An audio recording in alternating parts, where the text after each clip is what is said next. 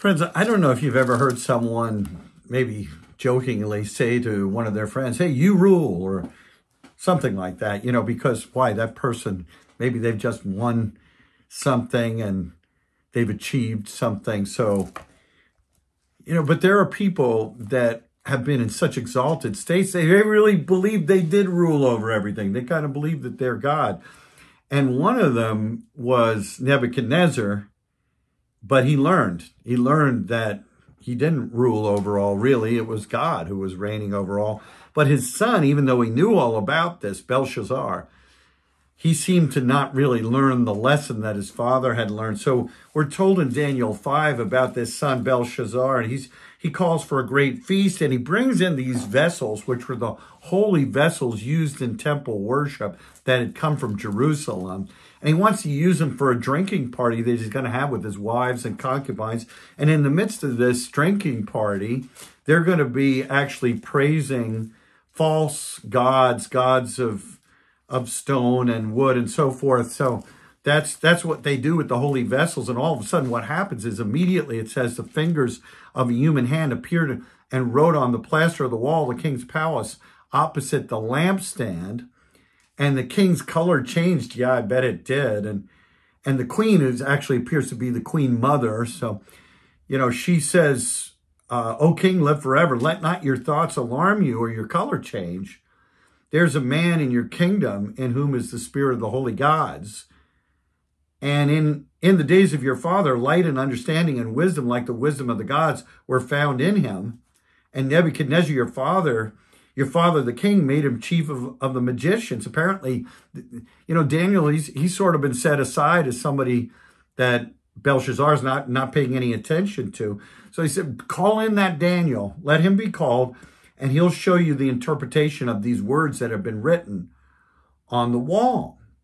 And so Daniel is brought in, and Belshazzar says, You're the Daniel? Are you that Daniel?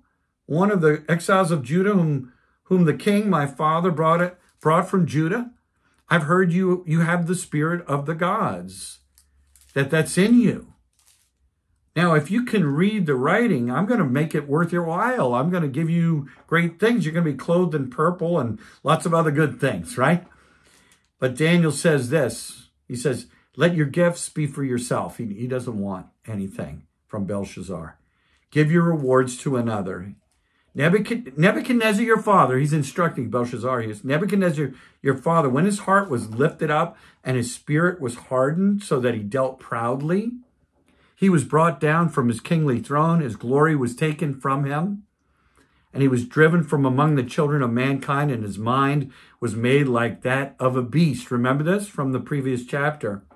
So he, he made his dwelling, you know, with the animals, and he's eating grass like an ox. And that was what happened until he knew, until Nebuchadnezzar knew that the Most High God rules the kingdom of mankind and sets over it whom he will. And then he says this, he, he says this to Belshazzar. He says, you, his son, Belshazzar, have not humbled your heart, though you knew all this. So you see, we're really responsible for the things that have happened in our lives, maybe even to those above us, like like our dad. You know, did did he have something to learn and he learned it, but then we haven't learned it? Hey, we're responsible before God. But what you've done, Daniel says, you took those vessels, those holy vessels, and you had this party for your wives, your concubines. You praised the gods of silver and gold, of bronze and iron and wood and stone. And these are gods that are not real gods. They can't hear. Oh, they that these are gods uh, who are not gods. They can't see.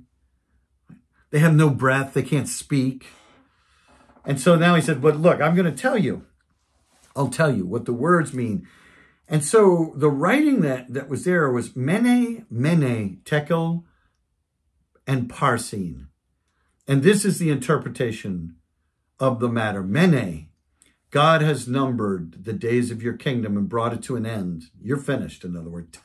Tekel, you have been weighed in the balances and found wanting. Peres, your kingdom is divided and given to the Medes and the Persians. Wow, what an announcement. Now, Belshazzar wants to honor him, but the end of the chapter says this that very night, Belshazzar, the Chaldean king, was killed, and Darius the Mede received the kingdom, being about 62 years old. So, this is a real event that took place.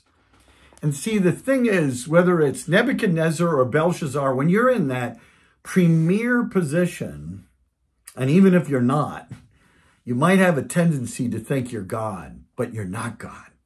There is a God over all. So not only is there a God over all, but there's a King of Kings who's the Son of God. And he rules, you know. Whatever we might say about anybody else, Jesus reigns. Father, thank you that your Son is reigning over all. This gives us hope and comfort. In Jesus' name, amen. Blessings, friends.